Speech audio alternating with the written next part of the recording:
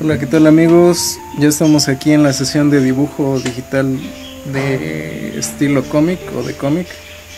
Solamente vamos a esperar unos minutitos más antes de, de empezar. Así que vayan saludando si, si gustan, ¿verdad? Vamos a dar unos minutitos y ya empezamos. Una disculpa si se escucha la lluvia, pero pues no somos Storm de los X-Men y no podemos detener el clima. Pero unos minutitos más y ya. Y ya empezamos.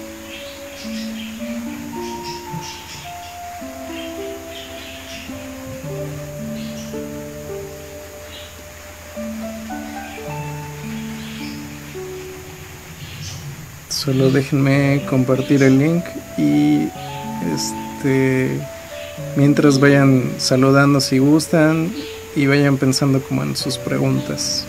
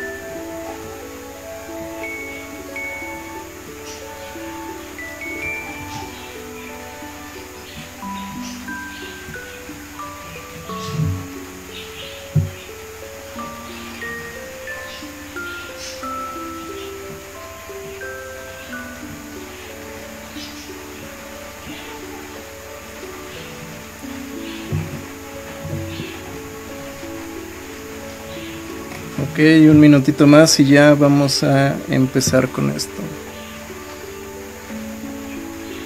Como saben, estamos, bueno, vamos a dibujar en, en Medibank, que es un software gratuito. Se parece mucho a Photoshop y a mí en lo personal me gusta mucho porque pues es gratis, tiene muchas herramientas y si vienes de Photoshop, probablemente este te familiarices de volada con, con este programa nuevo. Bueno, nuevo entre comillas, ¿verdad? Pero la verdad es que se lo recomiendo para, para dibujar. Este. Pues nada, chicos, creo que ya vamos a empezar. Bueno, no, unos minutitos más y ya empezamos. Vayan dejando sus comentarios y si conocen a alguien que le pueda interesar como aprender a dibujar en digital, aquí vamos a estar resolviendo sus, sus dudas y, y ver en qué les podemos ayudar. Ya saben, celebrando los nueve años de Innova Comics. Que ha como ¿Qué, tanto tiempo ha pasado desde, desde que empezó. Digo, yo no estuve desde que empezó, pero, pero tengo buenas memorias de Innova Comics.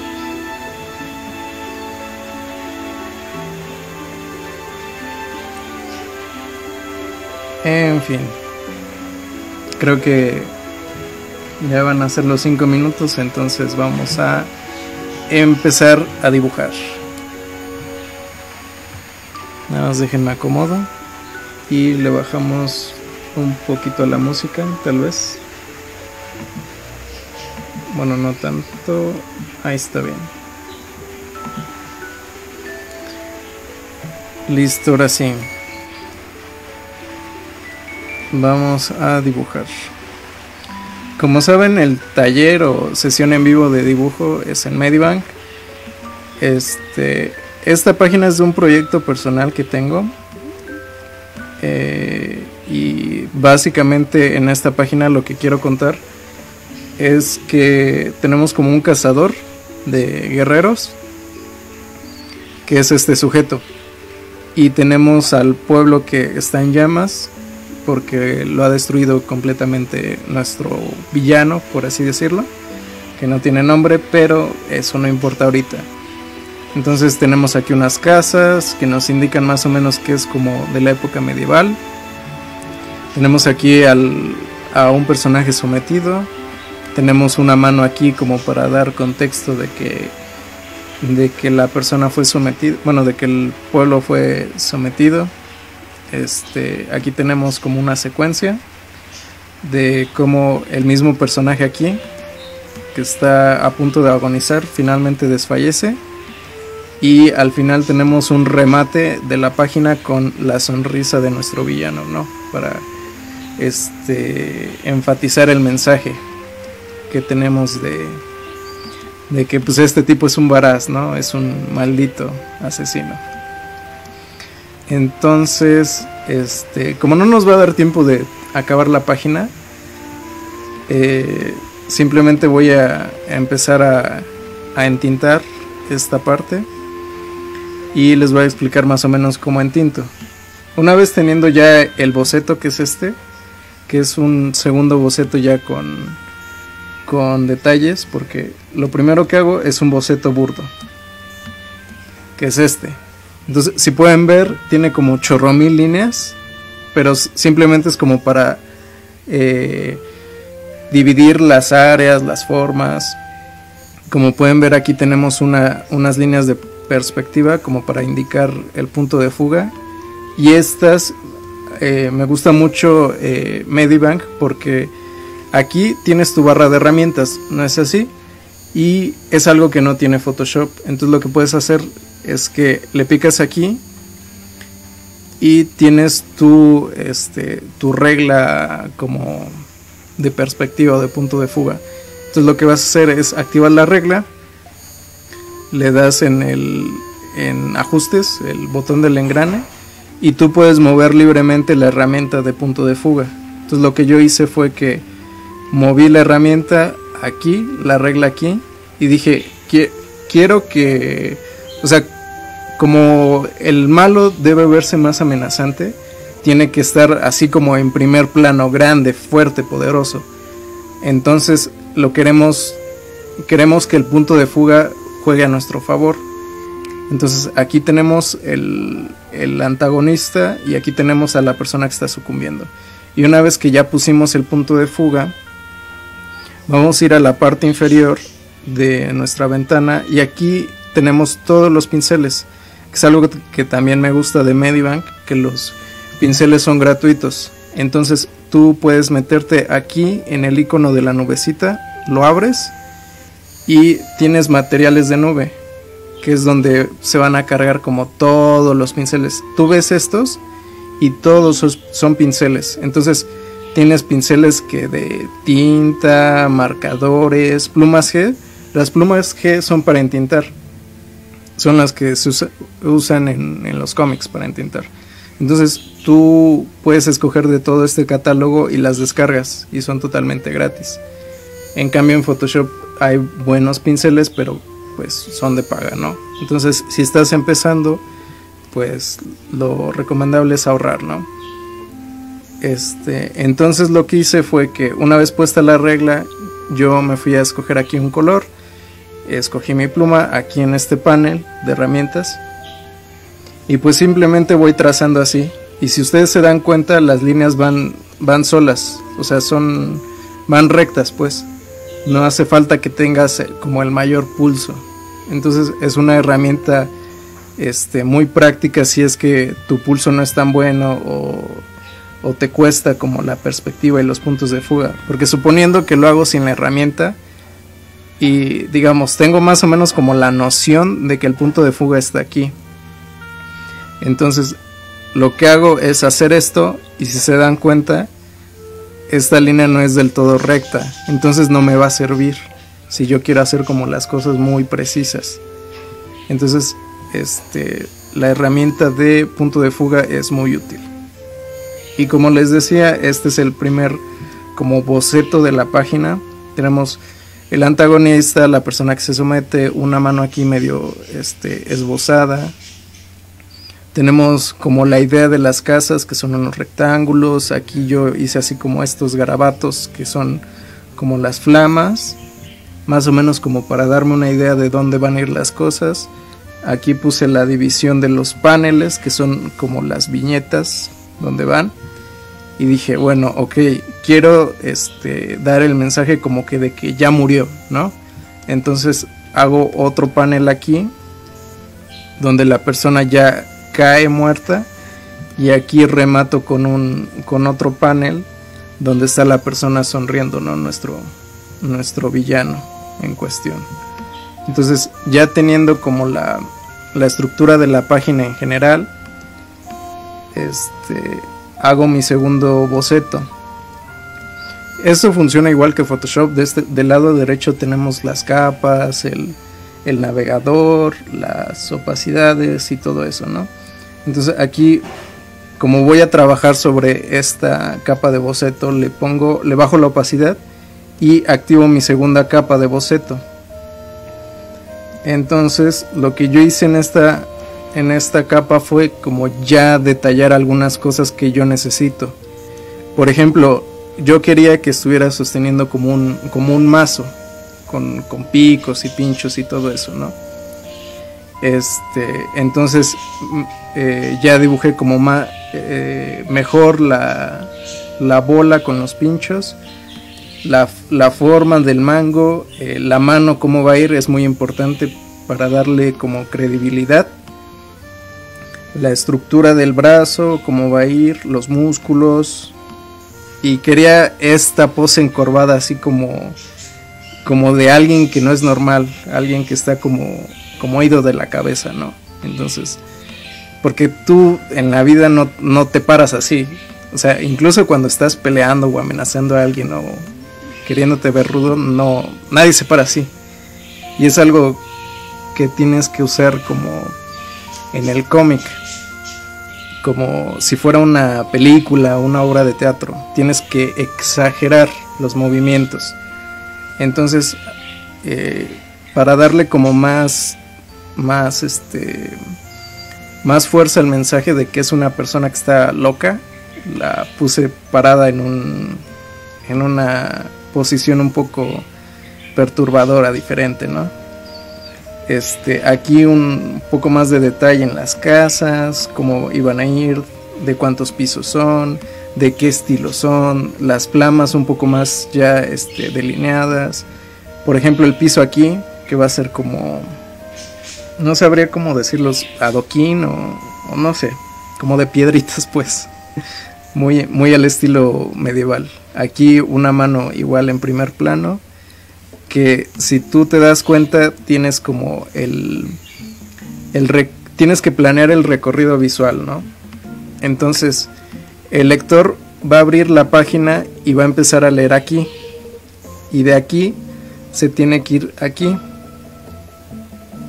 Entonces va a hacer esto, va a hacer esto, va a hacer esto, va a ver aquí y va a ver la mano. Entonces, de la mano, la mano más que como un elemento para dar contexto, lo que hace es este es guiar la vista, porque va a ser esto y aquí naturalmente la vista del, lector va a ir de aquí a acá. Entonces vas guiando al lector para, para que él, para que sea un recorrido divertido, un recorrido fácil.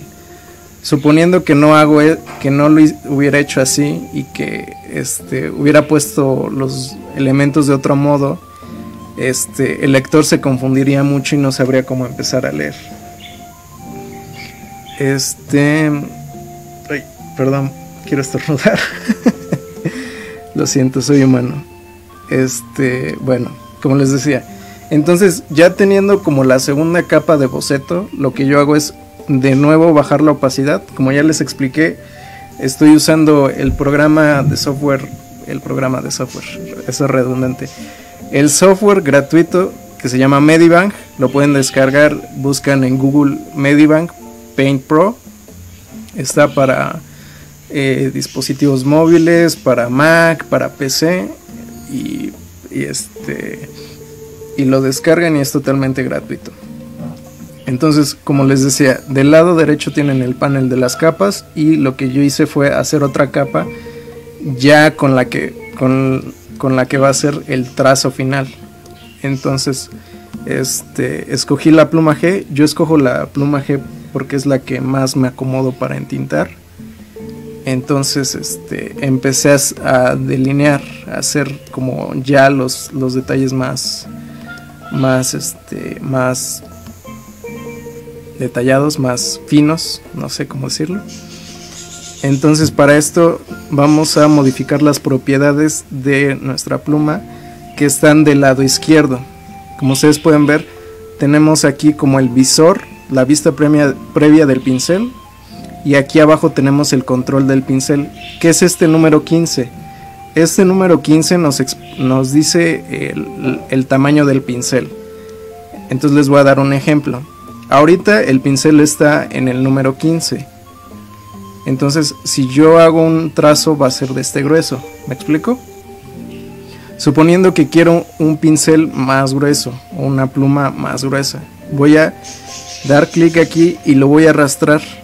Y como ustedes pueden ver, el cursor se hace más grande. Entonces, si yo quisiera este, un pincel más grueso, le, muevo aquí y hago esto. Como ustedes pueden ver, estoy usando una tableta digitalizadora. Estoy usando la Huion Pro 16, me parece, que es una pantalla con monitor.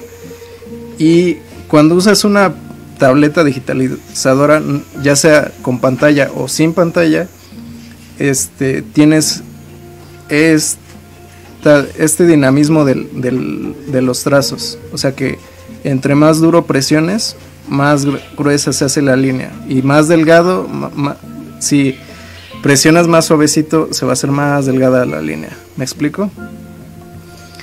Este, también otra cosa que me gusta de Medibank es que aquí mismo donde está el tamaño de las de la como de la pluma lo puedes seleccionar y lo modificas con las teclas de tu computadora. Entonces, si por ejemplo este, te falla el pulso y no, no, llegas como a la, a la medida exacta, tú le puedes indicar, no, pues yo quiero que sea de uno, suponiendo, ¿no?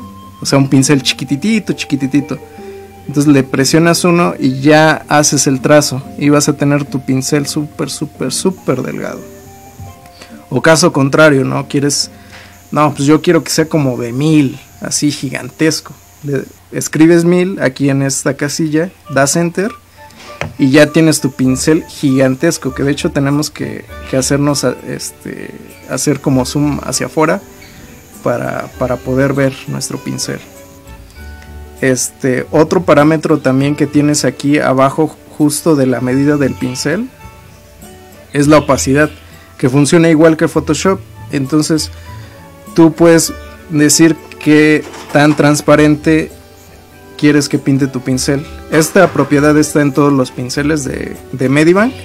Entonces, suponiendo que quieres que se vea así súper rígido, entonces le pones la opacidad al 100%, ¿ok? Pero quieres que se vea transparentoso, entonces le modificas aquí y se va a ver más transparente. Entonces, de hecho, si yo vuelvo a trazar encima de ese, se va a como que se van a superponer porque a final de cuentas no tienen el 100% de la opacidad los dos trazos. Aquí sí hay un problema porque no, no, tenemos como el control exacto como en la casilla anterior del tamaño del pincel. Entonces aquí sí hay que tener como mucho cuidado de, de hacerlo con la barrita que tenemos aquí, ¿no? Este, y aquí abajo tenemos otras este, características que varían dependiendo del pincel. Entonces, por ejemplo, tenemos el pincel de la acuarela, que aquí las propiedades que podemos modificar es la facilidad, facilidad para mezclar los colores y el cargar un color. ¿Qué significa esto? Que si, por ejemplo, este, aquí tenemos este, un rojo, ¿no? y aquí tenemos un morado. Entonces, si usamos la acuarela y le activamos el cargar color al máximo, lo que va a hacer es que si nosotros presionamos aquí y arrastramos hasta acá, lo que va a hacer es que se va a arrastrar el color al máximo. Entonces va a ser de un rojo al morado que teníamos aquí, ¿no? Entonces, si le bajamos la, la, propiedad de cargar color, lo que vamos a hacer es que vamos a hacer lo mismo, ¿ok? Entonces vamos a presionar aquí con nuestra pluma y vamos a arrastrar. Entonces, si se dan cuenta, cambió el, el efecto. Entonces ya no arrastramos tanto el color y, y va a haber como una mezcla mayor en nuestros dos colores. Ok. Eh, voy a leer unos comentarios tantito en lo que, en lo que regresamos con el dibujo. Mm, ¿Cómo se llama el programa que usas? Eh, ya lo dije, Carlos Morales es Medibank. Eh, te lo recomiendo si es que te gusta dibujar. bien, tu señor, te están viendo mis alumnos, cuates de aquí, Guatemala. Saludos a Guatemala, amigos. Saludos. Este, Eduardo Carrillo, ya quiero ver anime. pues vamos a, a dibujar, que mi estilo es medio anime, ¿verdad? Entonces, si tienen alguna duda o algo con respecto del programa, no, este, no duden en preguntar. Saludos, Lili Muñoz, saludos. Ay. Ah, chinga, estoy pintando con otro color. Entonces, ahorita lo que vamos a hacer es este entintar este dibujo como si fuera estilo cómic. Entonces, lo que yo hago para para entintar este, mis dibujos, primero hago como las plastas o, delimito las áreas que van a ir de negro, ¿no?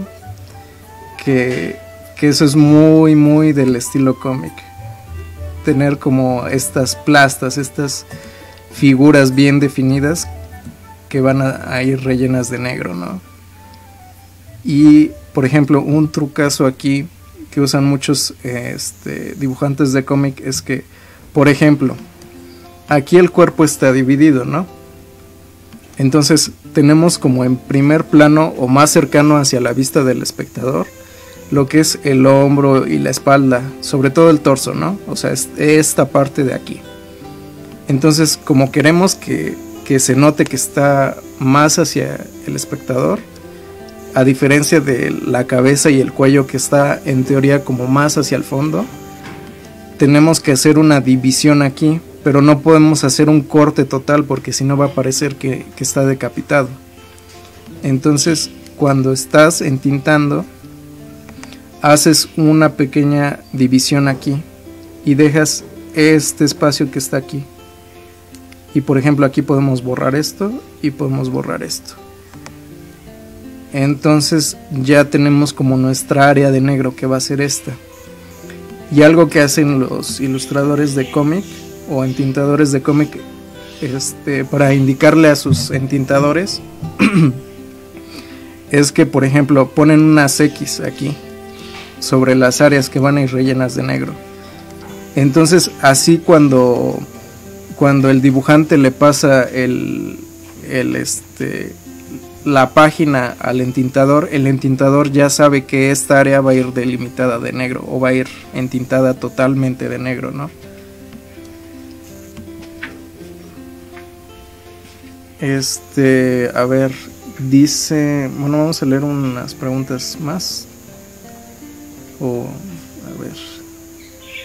Saludos a la banda de Monterrey que nos está viendo. Este. Dice Anaima, si te admiro porque ni en pedo sé dibujar. Pues es una disciplina, entonces yo tengo la ideología de que cualquiera, así cualquiera, cualquiera, cualquiera puede dibujar. Pero es una disciplina, entonces si no dibujas todos los días, jamás vas a mejorar. Es como el karate, como el, cualquier deporte, si tú no lo practicas, si tú no le dedicas el respeto o, el tiempo que se merece, no vas a mejorar. Entonces, si quieres ser mejor en el dibujo, dedícale tiempo a eso.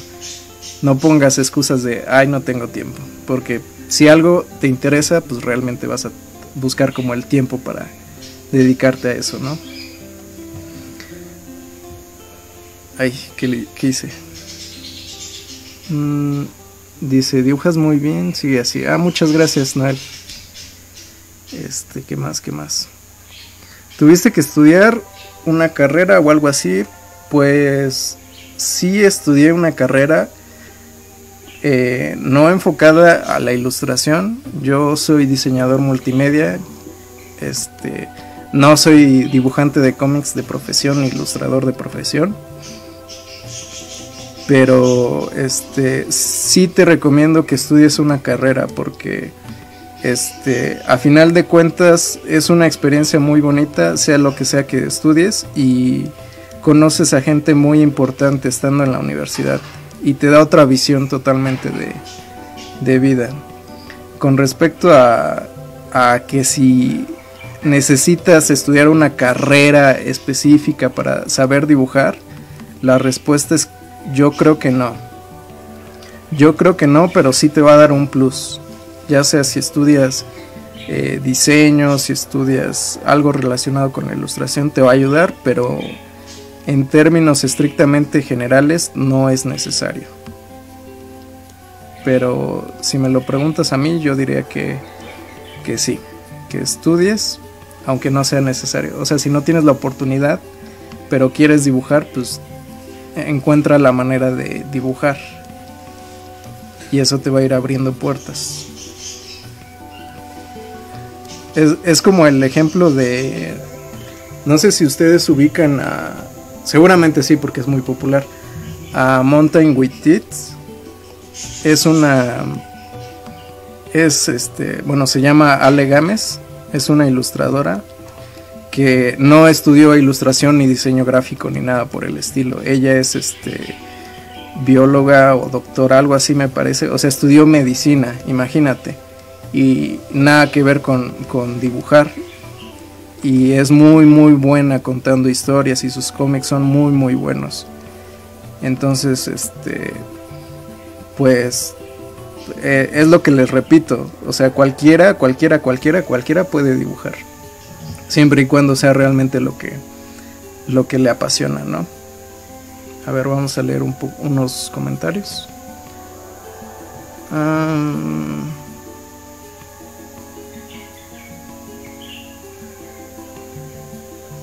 Saludos a mis amigos los osos.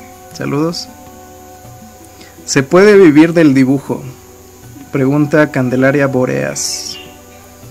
Este, pues sé que sí. Yo todavía no estoy en esa etapa, desafortunadamente, pero sé que sí se puede vivir del dibujo. Y, digo, no es como que haya poquísimos casos, ¿no? De que de gente que viva del dibujo. Tenemos casos, este, eh, varios casos. Por ejemplo, pues, Paco, según yo, Paco Shinigami, saludos Paco, vive totalmente del dibujo. Él sí, este, se ha sabido rifar y no, o sea, como que no necesita como algo extra, ¿no? Este, ¿qué más?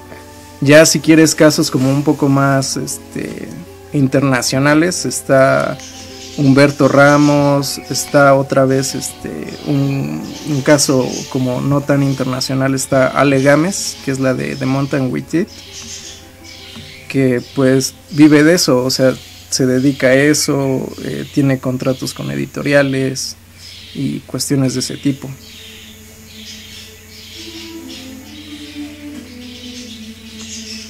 Entonces, este, pues vamos a seguir dibujando, ¿no?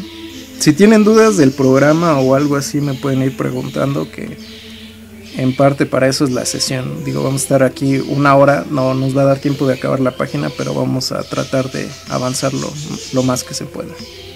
Entonces vamos a seguir aquí haciendo las secciones que vamos a entintar.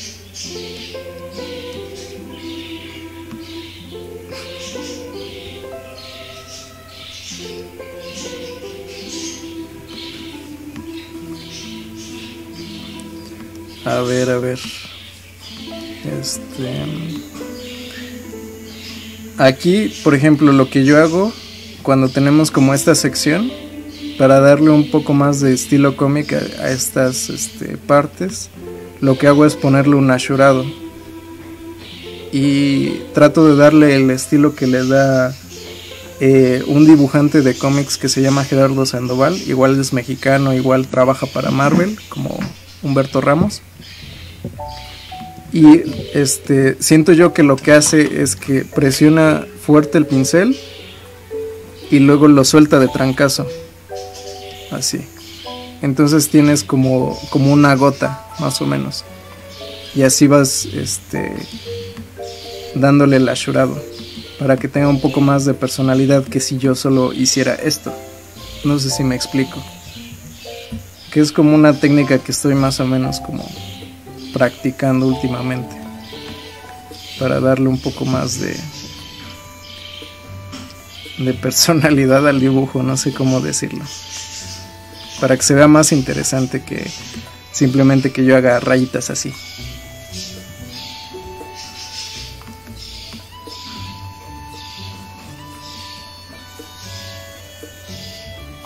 Entonces vamos a seguir delineando estas partes.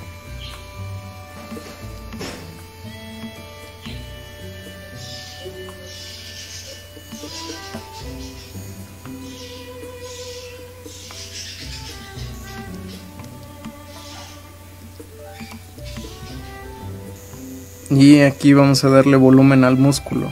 Entonces este para eso vamos a practicar bueno vamos a darle como un ashurado pero ahora sí vamos a darle como las líneas un poco más delgadas. Esto por qué se hace porque como queremos darle la intención de que es un músculo largo y de que la sombra se extiende hasta acá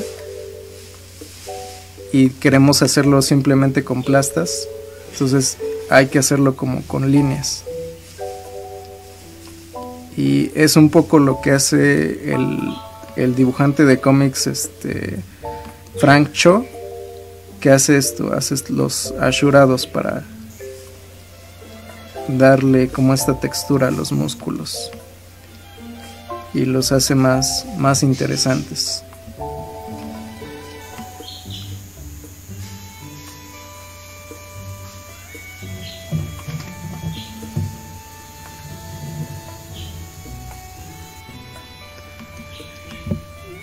A ver, dice Will Galindo. Oye, ¿puedes explicar sobre las técnicas de dibujo?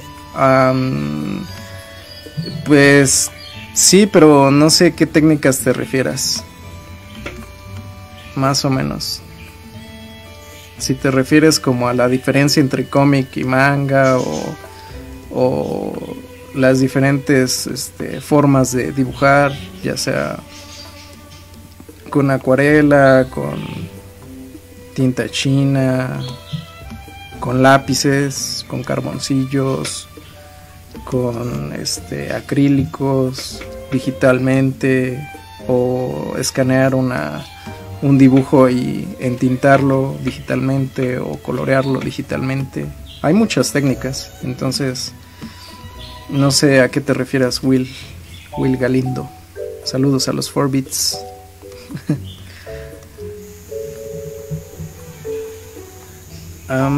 dice Carlos Morales, hay pinceles con, texturas como, como puntitos, por ejemplo.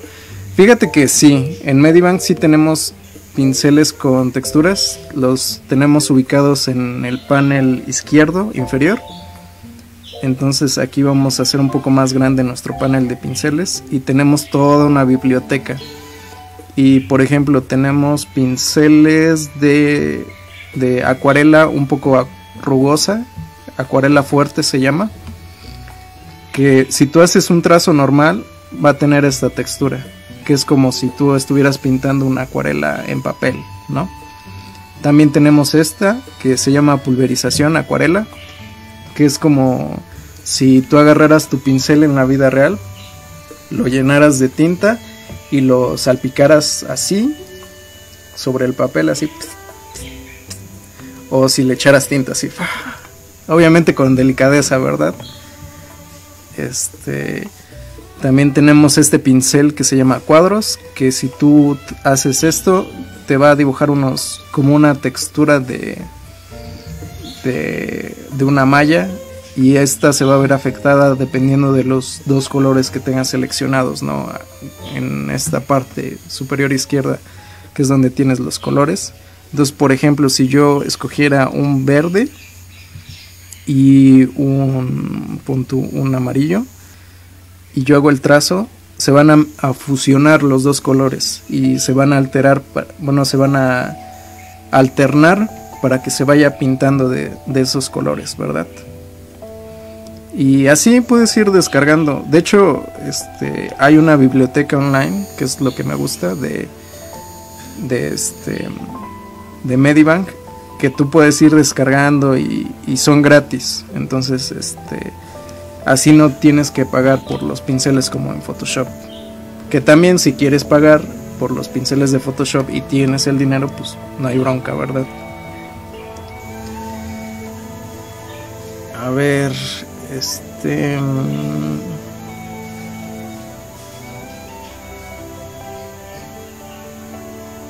Saludos a los alumnos de Paco de, Guatemala. Hola chicos. Dice Jamie Godínez. Eh, ¿Hace cuánto empezaste a dibujar cómic? Pues fíjate que yo empecé a dibujar cómic cuando iba en la secundaria. Hace, hace ya bastante tiempo. Este, tenía 14 años, ahorita tengo 25 años, ya estoy algo viejillo, no mucho, pero pues ya no soy un, un muchachillo. Ah, caray. Este. Tengo. Entonces ya llevo un ratote dibujando cómics.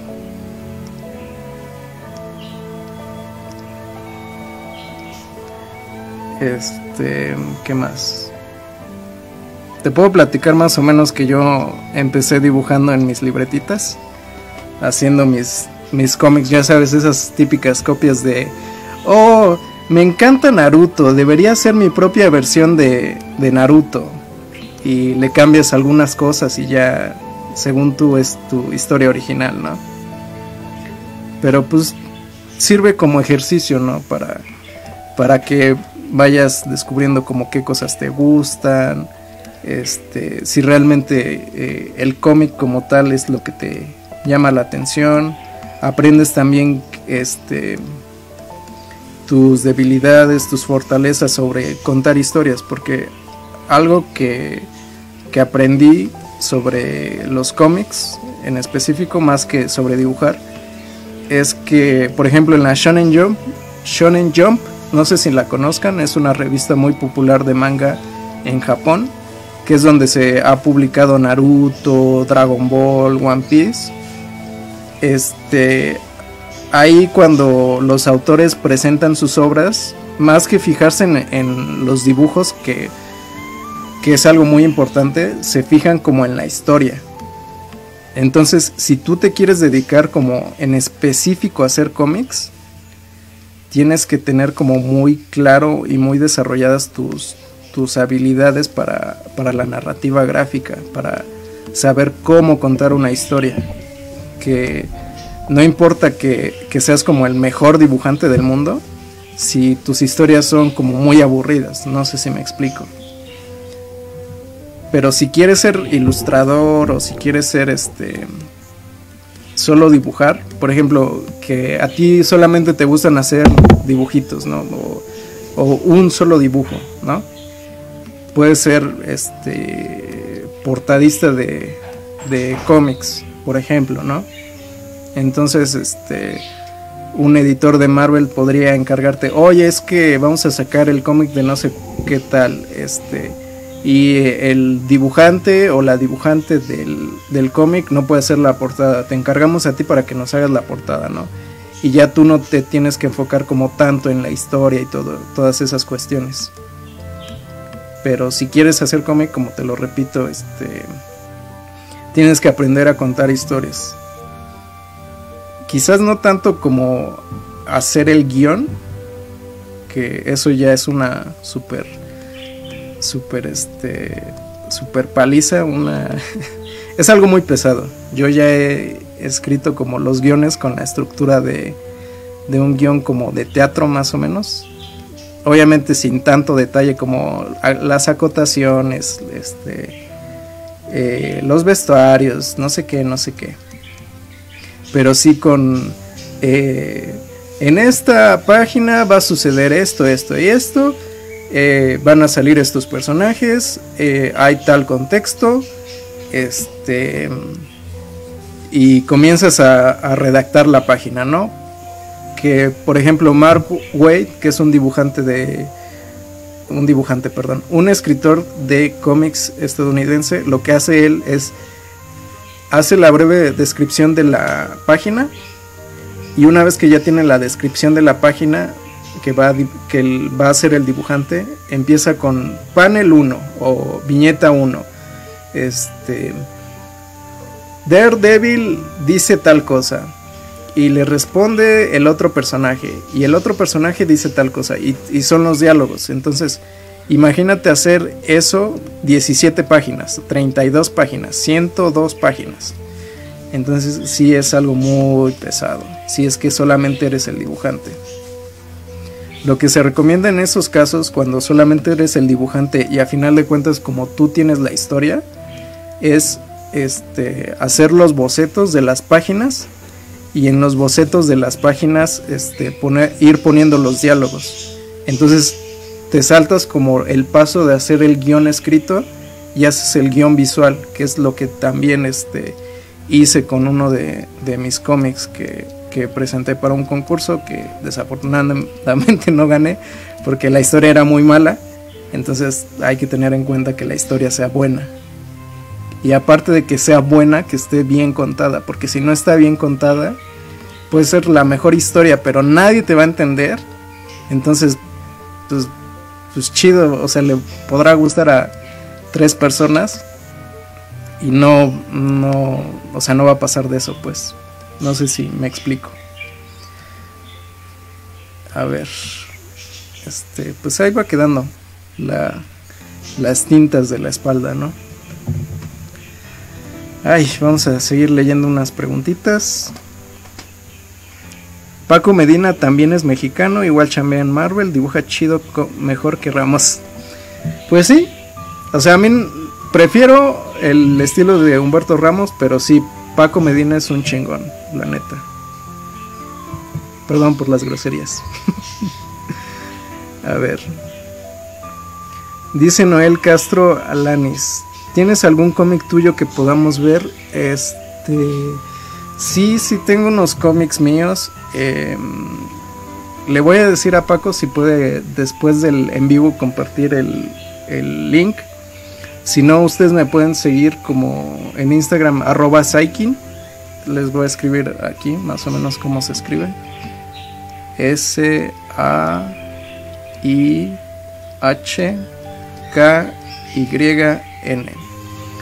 Y ahí este y vamos a ponerle el bonito arroba, ¿no? Ahí está. Ahí me pueden seguir. Y ahí si tienen alguna duda se las puedo responder con, todo gusto. Eh, tengo que platicar más seguido contigo. ¿Cómo descubrirías tu estilo de dibujo? Pregunta Aranzazú.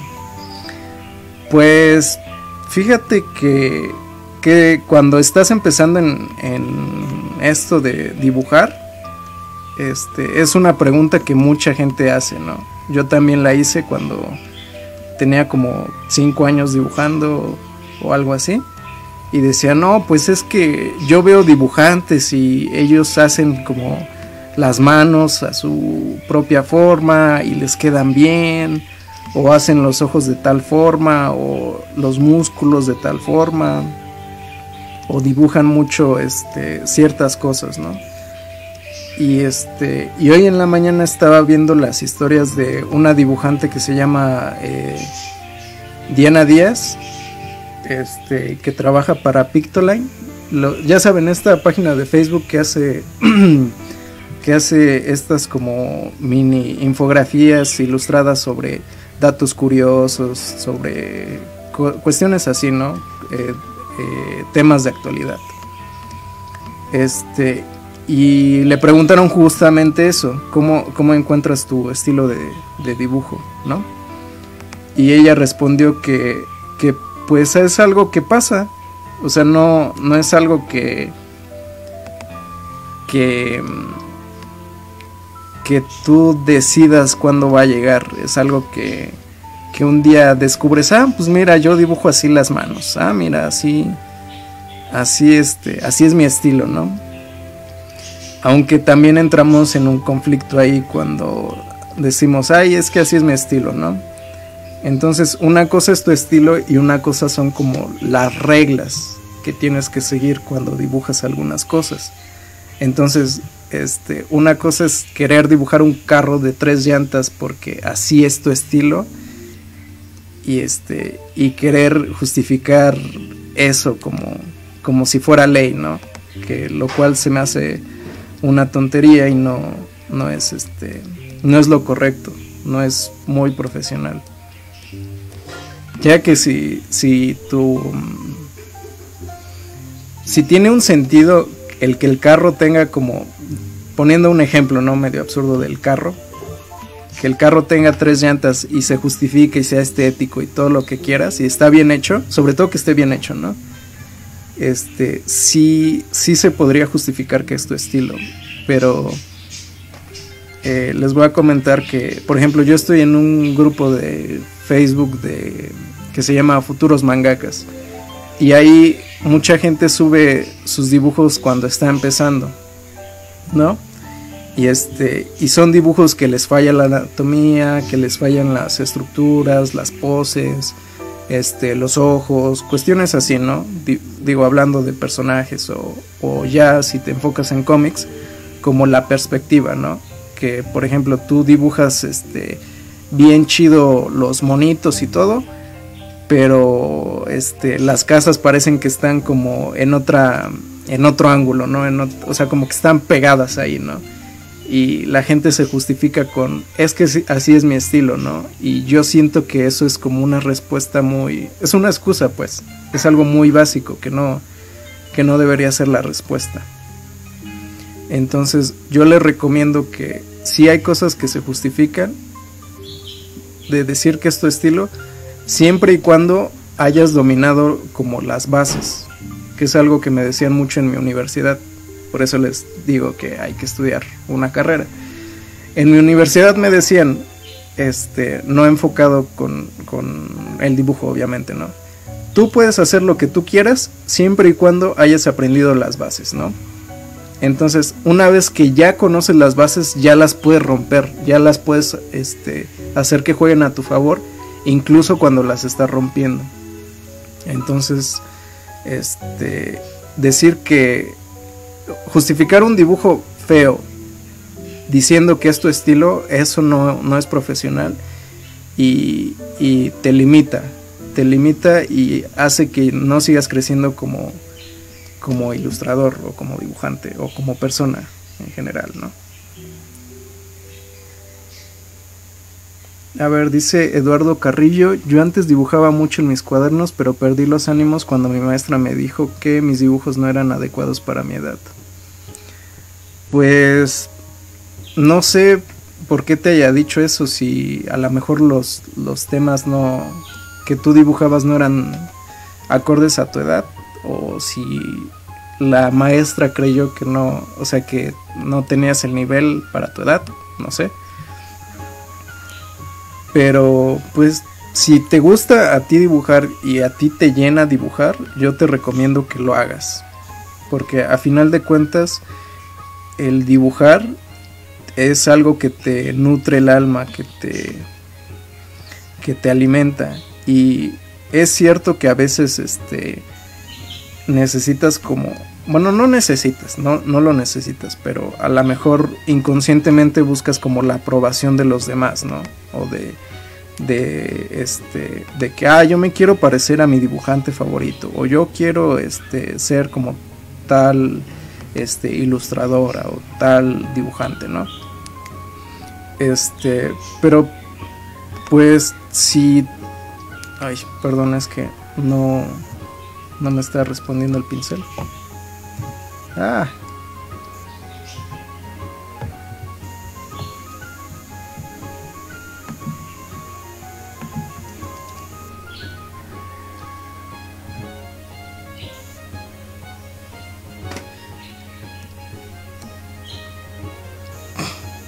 Chale, ya no quiso responder el pincel. Bueno, a ver, este, volviendo con tu pregunta o tu comentario, Eduardo, lo que yo este, te recomiendo es que si dibujar es tu pasión y si quieres ser mejor, pues dibuja sin importar lo que te digan. Siempre y cuando te haga feliz y no lastimes a nadie, ¿no? Dice Jamie Godínez. ¿Y solo dibujas cómic o también has experimentado piezas en óleo o retratos? Este, soy muy malo con. soy muy malo con, con los. Este.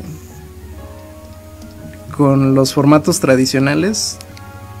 Este. Por lo general, este. Solamente dibujo con tinta china, con acuarela y a veces con lápices de colores, que personalmente es la técnica que, que menos me acomodo. Pero sí, o sea, no, eh, no me limito solamente a dibujar cómic. También he, dibujado este, retratos, eh, he dibujado fanarts, he dibujado, este, he hecho diseños de, de mascotas. Ya saben, como, este, como mascotas para algunas marcas o algo así. Este, y son cuestiones diferentes, porque por ejemplo cuando tú estás haciendo el diseño de una mascota es totalmente diferente a que tú estuvieras haciendo un cómic como este, ¿no?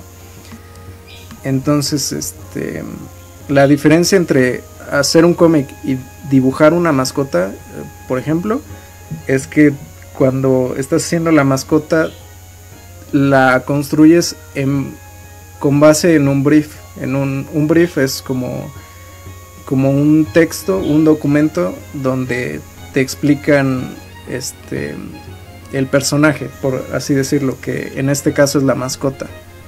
Así de eh, la persona el personaje es tal, eh, su actitud es así, eh, tiene un rango de edad de tal a tal y este y obviamente como mascota el lo fundamental es que sea empático con, la audiencia, ¿no? O sea, es una cuestión ya como un poco más de marketing, pero, pero esa es la misión de una mascota, ¿no? Entonces, en un cómic tú plasmas una historia que, y tienes más espacio para plasmar una historia.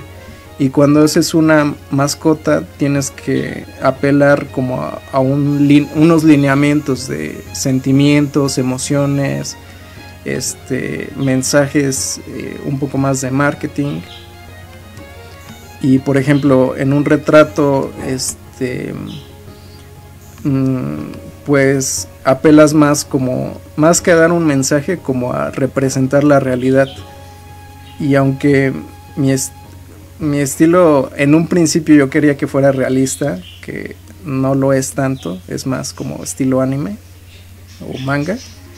Entonces, si vas a hacer un retrato, a mí personalmente me cuesta hacer retratos porque como son realistas y si la, la cara o la ceja o algún detalle muy característico de, de la persona que está retratando no cuadra, este, pues no, no está cumpliendo la función. Y para mí la gente que hace retrato es como, wow. O sea, tú puedes copiar la realidad así, este, con el máximo nivel de detalle y puedes este, copiar las pecas, los poros de la piel, este, y todas estas cuestiones, ¿no?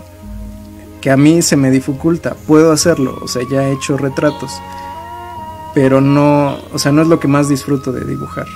Sí me gusta, sí me la paso bien, pero me la pasaría mejor haciendo cómics o, o dibujando este, como este estilo, más o menos, ¿no?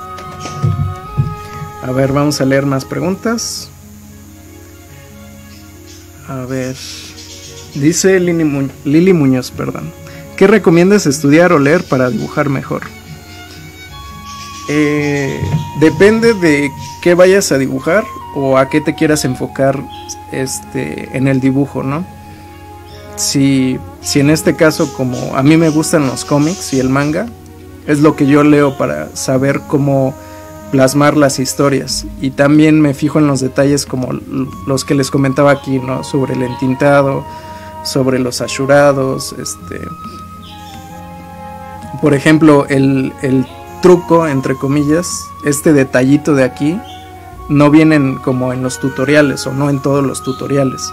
Entonces tienes que que leer mucho cómic si es que quieres hacer mucho cómic. Si, si quieres hacer retrato, tienes que estudiar o rodearte de gente que haga retrato también. Y este, no compararte con ellos, pero pedirles consejos o tomar algunas cosas que ellos hacen. Porque a final de cuentas, no es. O sea, no me refiero a plagiarles, porque eso pues no es profesional. Me refiero más bien como a como a lo que yo les decía aquí, ¿no? Del entintado, de que este trazo lo hace así Gerardo Sandoval. Y es algo que yo quiero tomar de él y hacerlo mío, parafrasearlo y traducirlo a, mi estilo. Y entonces voy tomando como de aquí y de allá y, lo voy modificando a como a mí me acomode, como a mí me, me, me haga feliz, me haga crecer como profesional, ¿no? Entonces, este también recomiendo que, que este, consuman mucha cultura popular. O sea, vean las películas populares. Si es que van a hacer cómic, o sea, les pueden ver como los errores y los aciertos de cómo contar historias.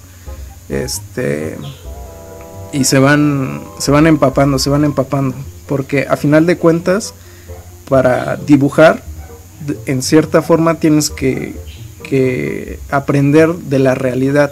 ¿A qué me refiero con la realidad? Que tú, por ejemplo, este, ¿cuántas personas saben cómo iría entintada o cómo iría la iluminación de, de este mazo? Nadie. O sea, yo no sé. Tengo una noción, pero yo a ciencia cierta no sé. Entonces, para para tener como una guía, tendría yo que buscar en la realidad una forma similar a esta y saber cómo es que iría la sombra o cómo, cómo irían las texturas, no sé, algo parecido a eso, ¿no? A ver.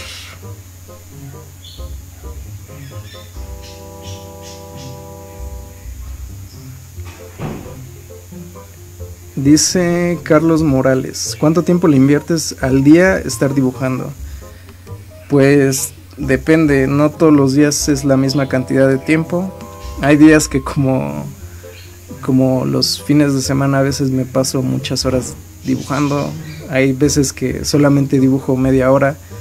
Pero es como ayer decía en la prueba de, del en vivo que, que este hay que dibujar todos los días si quieres ser mejor en el dibujo. Entonces tienes que estar ahí constante, constante, constante. Aunque sea poco, pero que vayas aprendiendo, que cada vez vayas dando un paso más en la en la épica escalinata de aprender a dibujar. Ay, qué cosas. Este ¿Qué más? ¿Qué más? Pues no sé chicos, creo que ya va siendo la, la hora de despedir este directo. Ya hicimos una hora, justamente una hora. Entonces vamos a darle eh, cinco minutos para resolver dudas y cualquier cuestión ahí que tengan respecto al programa, respecto al dibujar cómics, al dibujo en general o a esas cuestiones. Como pueden ver, casi no, o sea, avanzamos muy poquito realmente en el dibujo, pero yo creo que les ayudé un poco con sus dudas.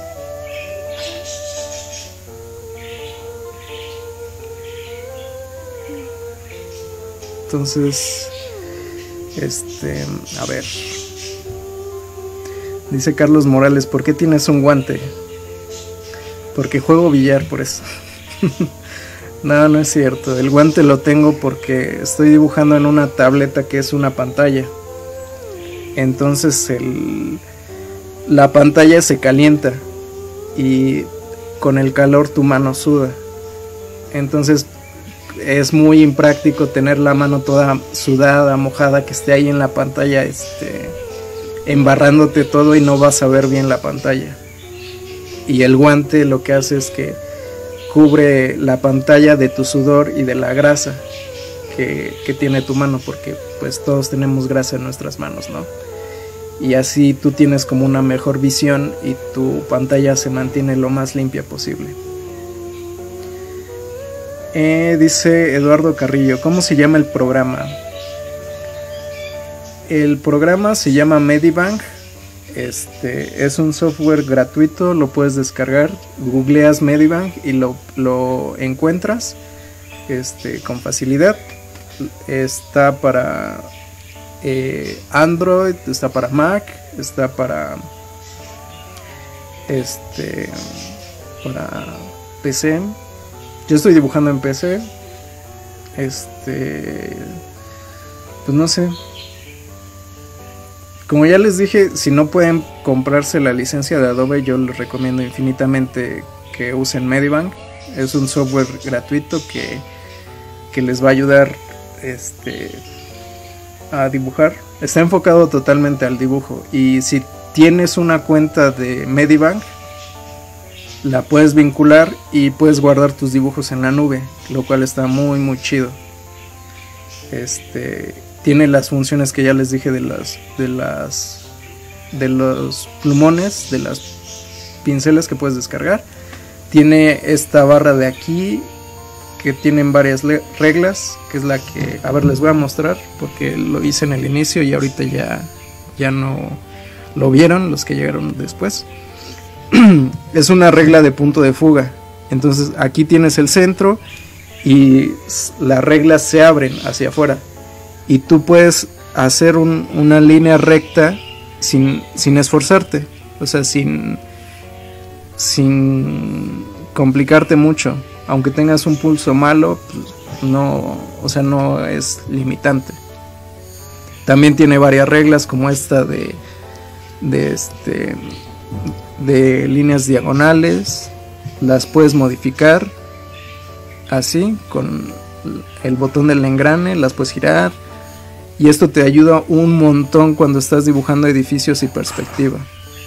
También tienes esta regla que es para hacer perspectiva, entonces tú pones tus dos puntos y ya este la puedes modificar totalmente a tu gusto tienes también esta regla circular y puedes ir haciendo líneas circulares que también son muy complicadas si tienes perdón un pulso, débil. Tienes un montón de cosas más. También en este lado del lado derecho abajo justo abajo de las de las capas puedes hacer una capa de semitono que son estos este estos puntitos que, puedes dibujar o que usan los mangakas, los que dibujan manga, ya saben, Naruto, One Piece, Dragon Ball. Entonces tú tienes tu capa de semitono, ¿no? Y tú con tu pincel, yo, yo uso el aerógrafo, puedes ir pintando, ¿no? Y haces esto. Y dices, ok, no me gusta que sea tan negro, ¿no? Entonces tú vas a ir aquí a la tuerca le das clic derecho y te va a salir un menú donde puedes modificar el color, este, puedes modificar que no sean semitonos, que sean líneas verticales, que sean líneas horizontales, este, que el semitono sea de más puntos, o sea que, que sea como más grueso, más este, los círculos más, más grandes, que sean más chicos, yo lo ocupo mucho para, para mis ilustraciones. Como son muy estilo manga, para eso, para eso las ocupo. Y pues nada chicos, yo creo que, que ahí vamos a dejar el, la sesión. Entonces, este, ya, este, les dije, me pueden seguir aquí en Facebook, Instagram, Twitter, como arroba Psyche. Si tienen más dudas de los programas o de cómo dibujar cómic, ahí me pueden seguir. Este, estamos celebrando los nueve años de Innova Comics, una bonita empresa, un bonito gremio de dibujantes. Este, y pues nada, el lunes me parece que vamos a tener aquí a Lupita Hikaru Tamilla, que nos va a estar platicando un poco más de este programa bonito que se llama Medivac. Entonces, si tienen más preguntas, guárdenlas para Lupita y para que ella se las pueda ir respondiendo. Entonces, este pues nada, chicos, este vamos a terminar el en vivo aquí y adiós.